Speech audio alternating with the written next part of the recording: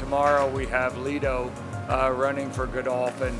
And uh, Lido is just a really uh, a super, super filly. She um, always tries hard, you know, really a consistent performer. She won a couple of races for us earlier this year, and now we've stepped up into stakes company, and uh, she was uh, third in a grade three on uh, good turf. So we might get a little bit of give to the ground tomorrow. We've got rain today and some tomorrow. So uh, see how she likes that. We've got Luis Saez back with her, who seems to uh, really get along well with her, and he won the races on her earlier this year, and they're getting back together.